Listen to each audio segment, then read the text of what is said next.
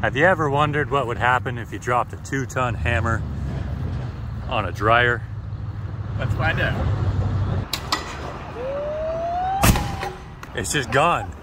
It's gone. Look at that dryer. It's just completely flat.